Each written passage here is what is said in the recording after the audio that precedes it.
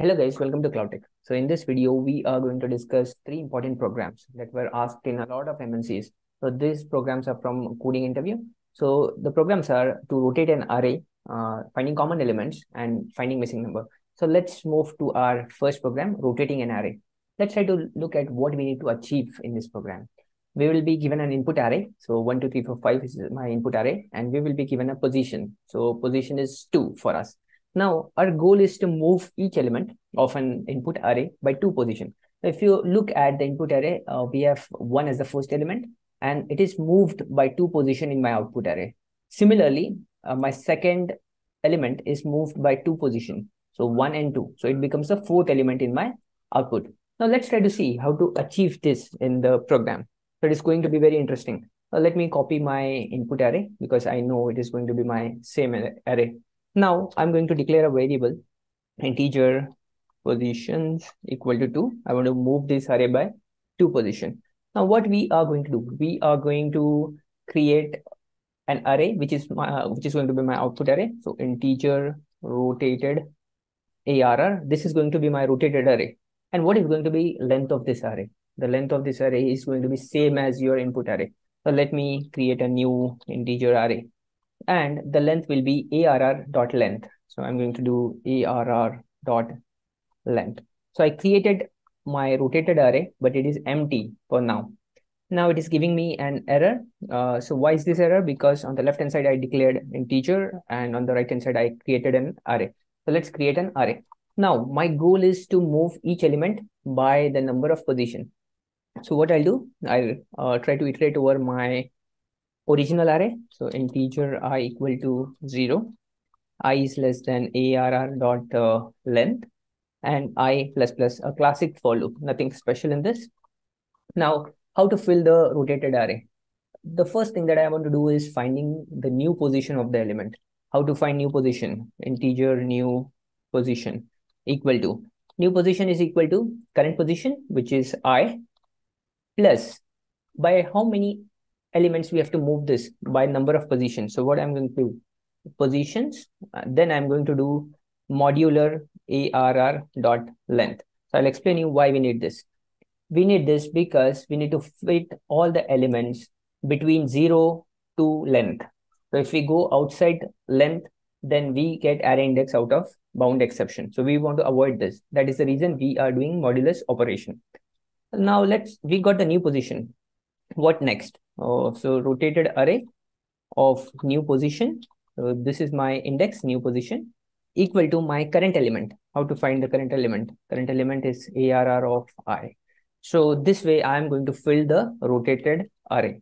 Now, once I fill the rotated array, the next thing I'm going to do is uh, my output is in this format, rotated array, and then the elements of the array. So let me do that. For that, I'm going to sys out rotated array and then I'm going to print each element of uh, the array. So this is going to be simple. Integer number of, uh, I'm going to use an enhanced for loop here because I used uh, the regular one earlier. So sys out, what we are going to print. Sys out, we are going to print the number, uh, which is uh, the element. And at the end, we are going to print space because uh, we want to i'm going to avoid println i'm going to just use print because i want to print on the same uh, line. So let me run this program and see if i'm able to achieve the required output. So rotated array is 4 5 1 2 3 so 4 5 1 2 3 we achieved the uh, problem statement. We found the output. What we did? We we are given an array and we are given a position and we move each element by that many position. One thing to look at what happens to the last element so the 4 is moved by two positions. So it comes here and then it becomes the first element. 5 is moved by two positions. So it comes here and then it comes to the second, uh, it becomes a second element. Now we solved our first problem, which is rotate an array. Let's move to the next problem. So here we have to find uh, the common elements between two arrays.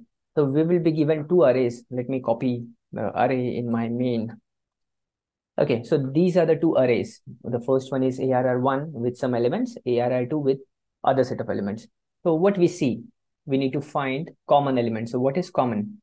Common element is 2 is common, uh, then 5 is common. So 2 and 5 are the common elements. Uh, let's try to solve this problem, how to find the common elements. So I'm going to take help of hash set. Hash set is a data structure which uh, only holds the distinct element. So I'm going to use hash set. Uh, let's try to create hash set of what? Hash set of uh, integer. And I'm going to name this as set equal to new again hash set of uh, integer. So what I did, I created a data structure which is hash set. Now let's try to iterate over the array for integer num and I'm going to iterate over my array one. So let's try to iterate over this. This is my enhanced for loop. What I'm going to do, I'm going to do one simple thing. I'm going to add all the elements to my set. So set that add and what is the element? Element is num. So here I'm just filling my set with the given array ARR1. Now what is next thing? next thing is identifying the common element. So let me try to sys out common elements. Common elements. All right, so common elements. How to find uh, the common element? I'm going to iterate over ARR2 and then try to see if it is there in my set. If it is there in my set, I can identify it is a common element. So let me do that for integer num. ARR2. I'm going to iterate over ARR2. Okay. Now hash set is filled with all the elements of my array 1. Now let's try to see if uh, the element of array 2 is present in the set. How to do that? To do that, we are going to use something called as contains. Uh, set dot contains. Set dot contains num. If the set already has the element from array 2, that means it is a duplicate element. We have found it. Now, what to do? if you find the duplicate element, then sys out. Duplicate element. What is the duplicate element? Duplicate element is the current element. Well, let me do that. So num plus and then the space. All right. So what we did, we declared a set. We added all the elements of my array one into the set. And then while iterating over array2 we just we are just trying to find if uh, the current element is in set if it is there then it is a duplicate element oh let's try to see uh, what is the output when i run this program so the output is 2 and 5 2 and 5 are the common elements uh, let's say yes 2 is common 5 is common all right let me do one more thing i'll try to add 7 as well just to see if it is common or not uh, I'll run the program. So 2, 5, and 7 are the common elements. So this was my second prog program. Let's move to the third and the final program, which is missing number. All right, so what we have to do here, uh, we have to find the missing number. We will be given number from 1 to n. So here you can see we are given number from 1 to 8. So uh, 1 to n, n is what? n is 8. And what I have to find? I have to find the missing number from that range. So if you see one, two, three, four, five is missing, six, seven, and 8. So my duty is to find uh, the number 5. Well, let's try to do this. Let's try to find the missing number. So I'm going to copy the input. Copying input is my always the first step. Now what I will do, I'll find the range. What is the range? Range is 8. So I can do uh, n equal to 8. Uh, is there any better way to find uh, the range? Yeah, there is a better way. You can do ARR dot length and then you can add 1. So length is 7 for me. And if I add 1, it becomes n. Now, what next? Next is what I'm going to find. I'm going to perform this operation by using set, uh, by using sum. So let's try to find the expected sum. Oh, there's a formula for finding a sum of first n number. So what is that formula? Expected sum equal to, uh, there's a formula n into n plus 1 by 2. So if I do n, so let's try to do perform that formula. n is equal to n plus 1 by 2. So let me do this by 2. Okay, so this will give me uh, the sum of first n number. So it will give me sum of 1 plus 2 plus 3 plus 4 plus 5 till 8. Now I got the expected sum. Now I'm going to take sum of the current array. So what is the sum of current array? I'm going to declare one more variable known as actual sum. actual sum is going to be my zero. Now I'm going to iterate over my uh, input array. So for that, as we know, we use enhanced for loop. So integer num is what just iterating over the array. So while iterating, I'm going to do actual sum is equal to plus is equal to num. So I'm just trying to take num and trying to add that value to my actual sum.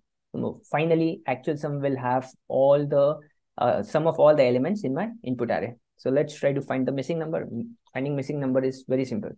int missing number equal to my expected sum, which uh, which was sum of first n elements.